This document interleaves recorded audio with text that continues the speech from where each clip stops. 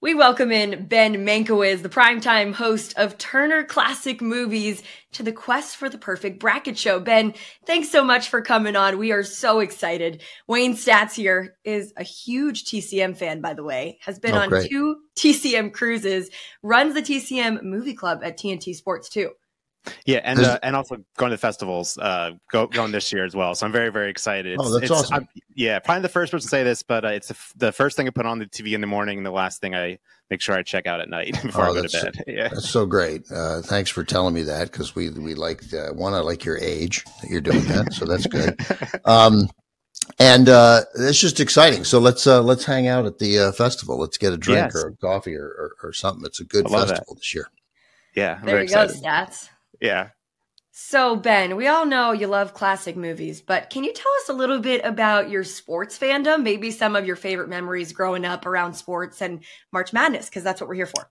Oh, I don't care for sports. Um, the uh, no, I, I was sure that I was going to have a career as a sports broadcaster. I mean, I just that was my my passion. I was sort of, I mean, I was mostly a baseball fan, but to but I, I mean, I could easily have seen a career as a broadcaster in football or basketball too. I was, uh, you know, all year there was always something that mattered to me.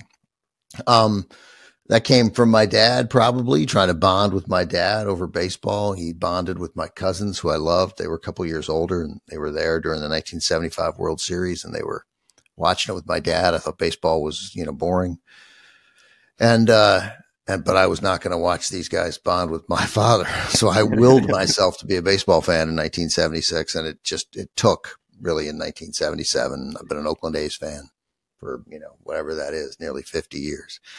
Um, but I'm a, I was a big Washington Bullets fan, huge Wizards fan, and you talk about happy memories. I mean, I, this is my this is where I keep my pens, and this is uh, don't know Oh, if you cool. can see it, but Bullets capture NBA crown, and that was June. Uh, uh, the paper was from June 8th. That was June 7th. It was just about our last day of school that year, and I just remember one running through the house when the Bullets beat the Sonics in 1978, and then going to school the next day and seeing my friends. I mean, I, I, I don't, I'm sure I've been happier, married and I have a child, but that was a pretty great, that was a pretty great moment. That it was the first championship I'd ever experienced. I haven't, you know, I'm an A's fan and an old Redskins fan. And, uh, uh, that's part of the reason the name that I bailed on him, but mostly it was the owner. Um, and, uh, um, so the, the, you know, the teams are bad now, all of them. Every team I care about is very, very, very bad because UCLA basketball was also a big part of our family. My father went there, was the sports editor of the Daily Bruin,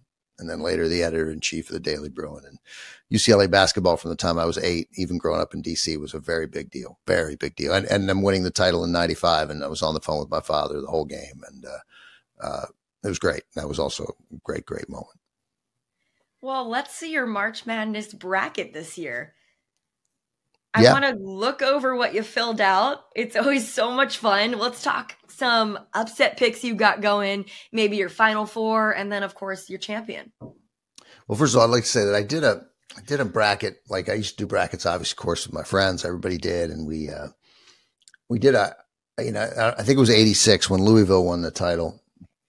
I uh, everybody had had a disastrous first opening weekend, the first four days, and so we did a new bracket in the Sweet 16, and I I, I hit all 15 games from the Sweet 16 in, which is much easier than a whole bracket.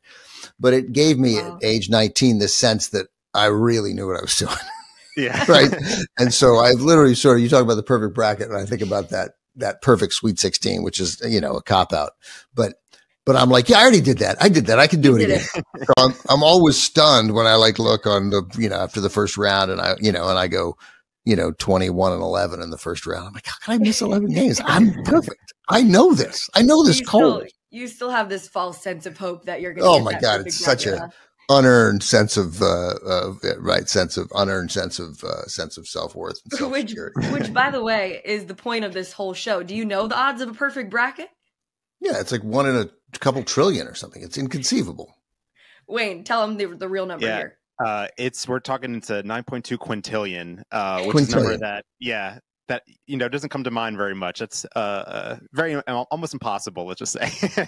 Yeah, it's to- totally impossible. Yeah. So, uh, All right, well, let's check out your picks. What do you got? Tell us some of your upset picks and all the way down to your final four and champ. Well, I mean, I you know, look. I, first of all, I, what's different is I you know when I was when I thought I was going to have a career as a broadcaster uh, and sports broadcaster, I was. I mean, I knew more than I certainly knew more than anybody I knew about sports. Like, I mean, and I just, you know, I, I, wasn't like a crazy fan. I was composed about it. I was thoughtful and it's just totally gone. Like you have a life, you have a child, you have a different job. You're not working in it.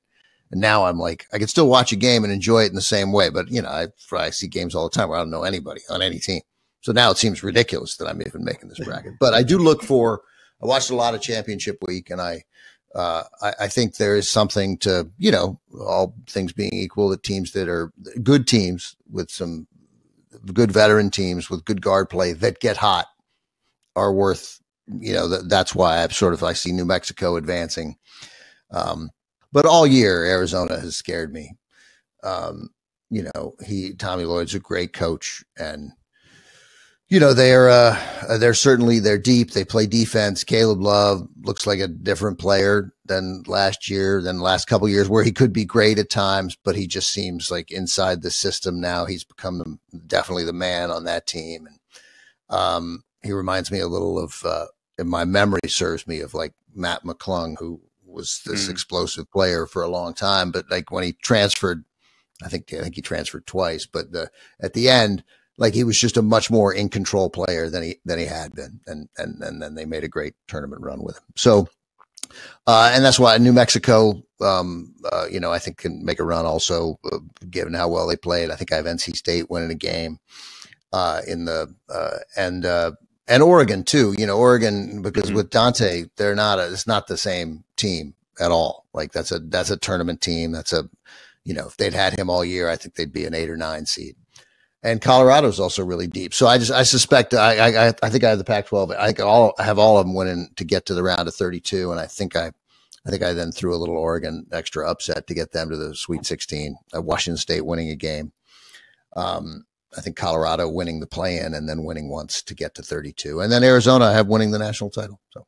All right. What yeah. are your thoughts on your final four? So you got uh, final four. I end up with just you think you're being radical, and then you look and you have two number ones and two number twos. But uh, uh, I, I, U, U, UConn and and and Arizona on, and then on the other half, I think I got uh, uh, Purdue and Marquette, and then Marquette because I like Kolek a lot for the same reason. Like veteran senior guard does everything, rebounds, and they have shooting around him too. And I like Shaka Smart, so I'd like to see Marquette uh, get to the final. I think they can. Uh, I think Purdue's, you know, the, you know, it's hard not to think about Virginia and losing to a 16 and then getting it back together. So, you know, Purdue's not just Edey, although, you know, he's such a gigantic presence. That's you know, literally and figuratively. um, and, and such a good player and so easy to root for. So, you know, I, I, I but I, I got Arizona and Marquette in the final and I, uh, I, I picked, uh, I picked Arizona. But if Marquette goes that far, that means Kolek has been amazing. And, and I imagine that that. But you know, it's weird. I, let me use this reference. So like the best three points when the Cavaliers beat the I always use Cavaliers beat the Warriors in Game Seven to win the title. Like one guy, LeBron blocked a shot. He's a good player, that LeBron James. And then I've heard of him. a somewhat right, a somewhat erratic three point shooter, right, in Kyrie Irving makes a very difficult three and the best three point shooter of all time, Steph Curry, misses an open three. Like it's random. It's basketball, and that's and particularly now with so many good teams and so many great shooters, you know, like whatever the team that that makes their open shots wins. Like it seems like you know, game is that part of the game is not complicated. You know, getting those open shots that's the complicated part, and then the great players doing it at exactly the right moment. But there's so much randomness here that, mm-hmm. which is why it's one in a two quintillion or whatever it is win, you know. Yeah, Ben, I, I love your picks, uh, especially uh, last year. People loved the 12s and it didn't happen. So I'm with you that we could see some 12s coming through this year. Uh, those those 12s look really really good. is that right? Were there no um were there no uh 12-5 upsets last year? That got to be the first no. time in a long time. Yeah, so it's only happened six times uh, since expansion, so it's pretty rare. So, and people love the 12s last year, so I feel like we're due for kind of going back to the way things were, and so that's why I, am kind of like now I feel like I should change my picks because ours look kind of similar with uh, you know Grand Canyon and uh, McNeese going, and I also have uh, New Mexico State going to Sweet 16 and the 11 line. Uh, so yeah, it's I, I, love I love these upset picks. It, you know, that's what March is. It's picking the upsets, and then maybe change a little bit when you get close to the final four, like you said, more ones and twos and threes. yeah, yeah. I mean, yeah, but but that said, there's just there's so, there's so many. You know, when UCLA won in 1995, I mean, I use that as my little point of reference. They won ten times before that. I'd like to point out, but the, uh, um, but the they uh, you know there weren't there weren't 20 teams that I felt like could win the championship, or maybe I'm probably over 15. Yeah, you felt like there were six or 7 mm-hmm. and you know, and this year there's just so many good players. I, I watched that. I watched Grand Canyon's championship game, and I was like, God, they're long and they're fast. I mean, you're a UCLA fan. Every team looks like they play fast. Yeah. But um, but the uh, uh, um, they're just again they play fast and they can score. And I'm now, you know, whereas I used to kind of look at defense. Now, one reason why I don't have Houston advancing is because of what happened in the in, in the in the Big Twelve at the end of the Big Twelve tournament. Like they teams that go through these long periods where it's challenging to score, mm-hmm. I sort of, I don't know, they were the teams that I was, I'm more comfortable dismissing them, even though could Houston win the title? Of course they could. And I'm not, I don't, I'm not disrespecting them in any way.